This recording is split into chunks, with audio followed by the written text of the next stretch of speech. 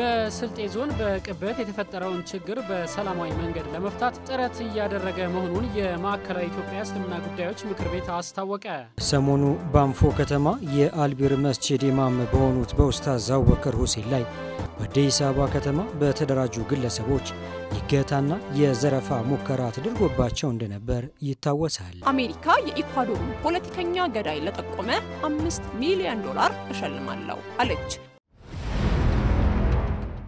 السلام عليكم ورحمة الله وبركاته። የተወደዳችሁና የተከበራችሁ የጄይሉ ቲቪ የዩቲዩብ ቻናል ቤተሰቦቻችን በያላችሁበት ሰላምታችን ይድረሳችሁ። ለቻናላችን አዲስ ከሆናችሁ ደግሞ subscribe፣ like፣ share ና እንዲሁም ሀሳብና አስተያየት በመስጠት አብሮነታችሁን ግለጹልን። እኛም እንደተለመደው ወቅታዊና አዳዲስ መረጃዎችን በቀጥታ ወደ እናንተ የምናደርስ ይሆናል። በዛሬው ዕለትም የተለያዩ መረጃዎችን ይዘናል።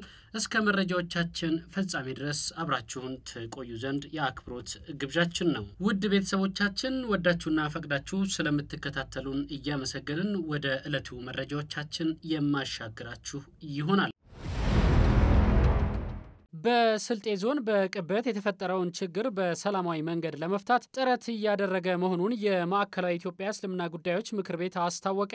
የማዕከላዊ ኢትዮጵያ እስልምና ጉዳዮች ምክር ቤት ፕሬዝዳንት ሼህ መሐመድ ኻሊል ከጄሉ ቲቪ ጋር በነበራቸው የስልክ ቆይታ እንደተናገሩት ከሆነ ችግሩ ከተከሰተ ጀምሮ በቅርበት እየተከታተሉት እንደነበርም በመግለጽ የሽምግልና ሂደቶችን የሚያደናቅፉ ተግዳሮቶች እንዳጋጠሟቸውም ገልጸዋል። ይህን ነገር ላለማባባስ ብለን ችላ ያልነው ነገር ኋላ እነሱ አካባቢ ሰው ትንሽ በሽምግልናውም በሆኑም ተጽዕኖ ፈጥሮብን ነበር። ምክንያቱም የተጎዳው ምስልሙ እያለ የተጎዳ መስጊዱ እያለ ሚዲያው ምኑ ምኑ ምኑ ሌላ ገልብጦ በመናገሩ በሽምግልናው በራሱ ተጽዕኖ ፈጥሮብናል።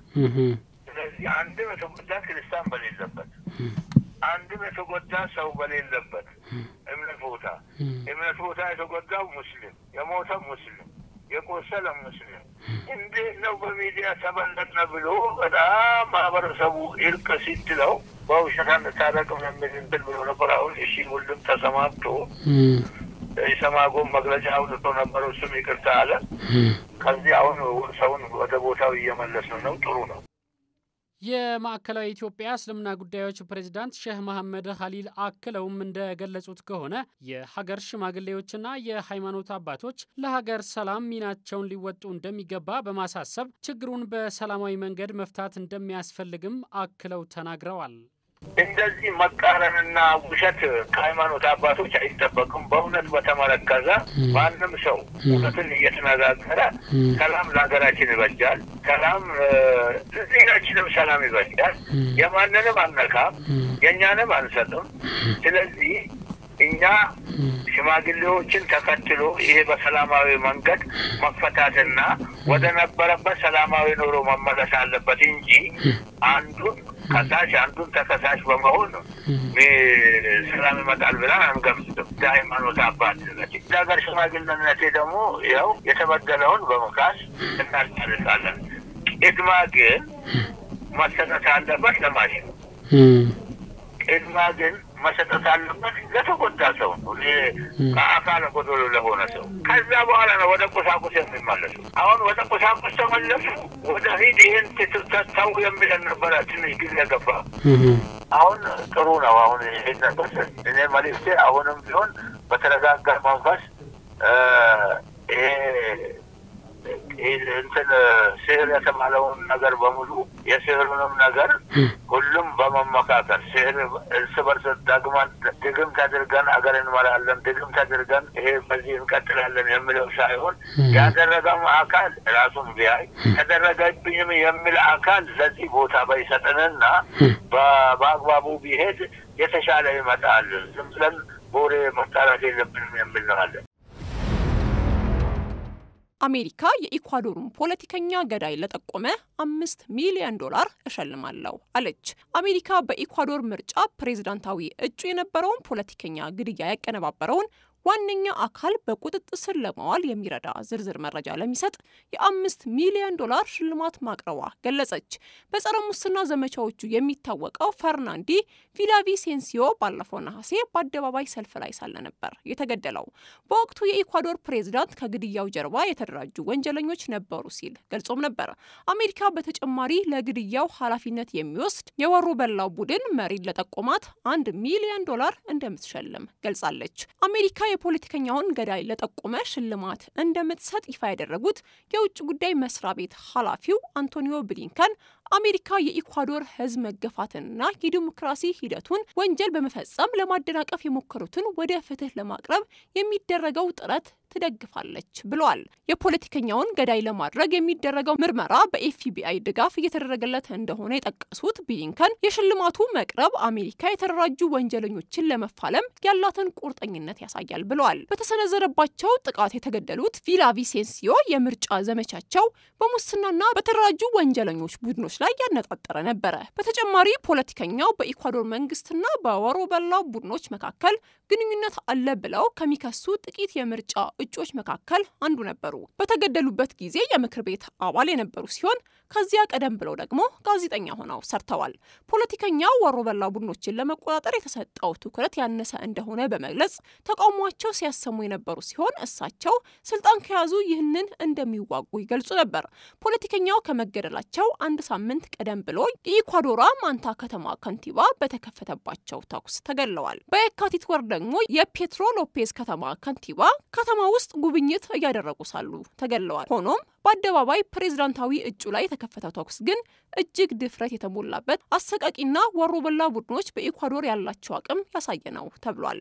በታሪክ ኢኳዶር በንጽጽር ከሌሎች የላቲን አሜሪካ ሀገሮች የተሻለ ደህንነት መረጋጋት ሰፍኖባት የቆየች ናት። ሆኖም ከቅርብ ዓመታት ወዲህ በኮሎምቢያና ሜክሲኮ እጽ አዘዋዋሪዎች በሀገር ውስጥ ካሉት ወሮበላ ቡድኖች ጋር ዘልቆ በመግባታቸው ምክንያት ወንጀሎች አሻቅበዋል። ከፖለቲከኛው ግድያ ጋር በተያያዘ የኮሎምቢያ ዜግነት ያላቸው ስድስት ሰዎች በፖሊስ የተያዙ ቢሆንም ተጨማሪ ተጠርጣሪዎች ለመያዝ እስካሁን ፍለጋው ቀጥሏል። አሜሪካ በሌሎች ሀገሮች ወንጀል የፈጸሙ ሰዎች ለጠቆመ ገንዘብ እሰጣለሁ ስትል ይህ የመጀመሪያዋ አይደለም። በዚህ ሳምንት እንኳን በሶማሊያ የሚንቀሳቀሰው የአልሸባብ ቡድን ምክትል መሪ አቡካር አልአዳን ለጠቆመ እስከ አምስት ሚሊዮን ዶላር እሸልማለሁ ብላለች። ባለፈው ዓመትም የአሜሪካ የጸረ አደንዛዥ እጽ መስሪያ ቤት የአየርላንድ ዜግነት ያለውና የተደራጀ የወንጀል ቡድን ቁልፍ መሪ የሆነውን ኪሃንን ለጠቆመ ገንዘብ እንደምትሸልም ይፋ አድርጋ ነበር። ሰሞኑ ባንፎ ከተማ የአልቢር መስጂድ ኢማም በሆኑት በኡስታዝ አቡበከር ሁሴን ላይ በአዲስ አበባ ከተማ በተደራጁ ግለሰቦች ይገታና የዘረፋ ሙከራ ተደርጎባቸው እንደነበር ይታወሳል። ዘራፊዎችና ወንጀለኞች ሕጋዊ የመንግሥት መዋቅሮችን ሳይቀር በሐሰት ሽፋን በመጠቀም የዜጎችን ደህንነት አደጋ ላይ መጣላቸው አሳሳቢ ጉዳይ እየሆነ መጥቷል። የዚህ ሰለባ ተጠቂ የሆኑት ደግሞ ኡስታዝ አቡበከር ሁሴን አንዱ ናቸው። ኡስታዝ አቡበከር ሁሴን አሁን ላይ ቪየት መኪናቸው ቢመለስላቸውም ጉዳዩ በሕግ ተይዞ ሊብሬያቸው ግን በሕግ አካላት እጅ እንደሚገኝ ከጄይሉ ቲቪ ጋር በነበራቸው ቆይታ አስታውቀዋል። በአሁኑ ሰዓት በሁሉም የጸጥታ ዘርፍ በጸጥታ መዋቅር ላይ የሚገኙ አካላት ባደረጉት ርብርብ መኪናዋን የማጣራት ስራ ሰርተው መኪናዋን መልሰውልኛል። ሆኖም ሊብሬው እስካሁን በእጅ አልገባም። ሊብሬው በመንግስት በጸጥታ አካላቶች ስር ነው ያለው። ምናልባትም ፋይሉን በደንብ አጽድተው ብዙ እጆች ስለገቡበት ፋይሉ በጣም ተበለሻሽቷል። ያንን ሁሉ ማጣራት ይፈልጋልና ጊዜ ሊወስድባቸው እንደሚችል ይገባኛል። ያንን አጣርተው ወደ ክፍለ ከተማው ሲመለስ ከእንደገና የስም ማስተካከሉ process ከዛ በኋላ ነው። ለምን ሙሉ ለሙሉ ስሙ ዙሯል። በ hard copy ም ላይ በ system ም ላይ ስሙ ወደ ገዛሁት ወዳለው ሰውዬ ስም ስለዞረ ይሄ ሂደት ወደፊት ይደረጋል። ተጠርጣሪዎችም እስካሁን ያው የተያዙ አሉ። ከአሁንም በኋላም እየያዙ ይመስለኛል። በምርመራ ሂደቱ ላይ ቀጥለውበታል። እዚሁ በተጨማሪ ኡስታዝ አቡበከር ሁሴን መንግስት በእሳቸውና በቤተሰባቸው ላይ ምንም አይነት ጉዳት እንዳይደርስባቸው ከለላ እያደረገላቸው እንደሚገኝ በመጠቆም አሁን ላይ ከነ ሙሉ ቤተሰባቸው በጥሩ ሁኔታ ውስጥ እንደሚገኙ ተናግረዋል። በጥሩ ሁኔታ ላይ ነው ያለ ነው። በዋናነት ሙስሊሙ ማህበረሰብ በጣም ላመሰግን እወዳለሁ። ሙስሊም ያልሆነውም አብሮ ተባብሯል። በዋናነት ግን ሙስሊሙ ማህበረሰብ እኔ አመስኪር ላይ እንደማገልገሌ በቅርበት ሙስሊሙ ማህበረሰብ ነው እና የሚያገኘኝ ሙስሊሙ ማህበረሰብ ያው ከጎን የሆኑ ብዙ ወንድሞች በተለያየ ቦታ ላይ እንቅስቃሴም ሳደርግ አብረውኝ እየተንቀሳቀሱ እኔም ሆንኩ መላ ቤተሰቤ በጥሩ ሁኔታ ላይ ነው የምንገኘው።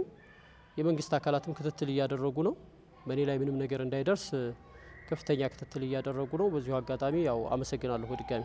የኦሮሚያ መጅሊስ በእሳቸው ላይ የተሞከረው አፈናና ዝርፊያ አስመልክቶ ያወጣው መግለጫ ያደነቁት ኡስታዝ አቡበከር ሁሴን የፌዴራል መጅሊስና የአዲስ አበባ መጅሊስ ኢማሞች ኡስታዞችን ሊጠብቁና የደህንነታቸው ጉዳይ በትኩረት ሊሰሩበት እንደሚገባ በመጠቆም ድምፅ ለሆኑለት ሙስሊም ወንድሞቹ ምስጋናቸውን አቅርበዋል።